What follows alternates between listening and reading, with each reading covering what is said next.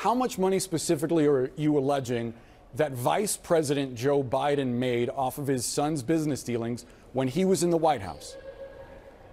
I don't know, but if it's a dollar, he, he's lied about it. And you got to ask, what was the influence there? What is the brand? The brand is the Biden family. The brand is they're not selling a service, they're not selling a product. They're not. He has no qualifications for this. The only reason he was there because he was Joe Biden's son or he was Joe Biden's brother.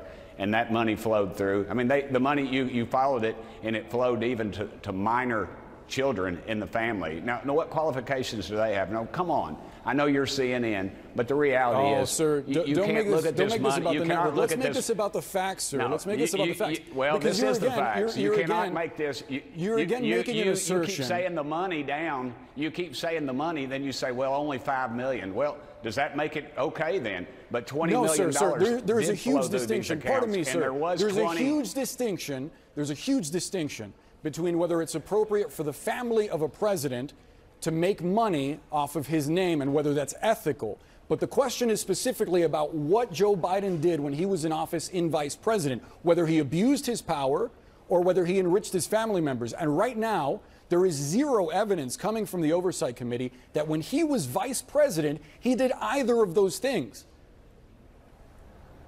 There's $20 million that flowed through. You saw these accounts. That's incorrect, sir. The after, bank records after, don't reflect after, that. No, sir. You're, They, they you're, don't specifically not, say, I looked at the bank records, they don't say that Joe Biden got any money from them. Have you read the bank Are records? Because they don't list Joe Biden's gonna- name. I'm not going to let you. I'm not going to let you you say things that are Are- untrue, sir.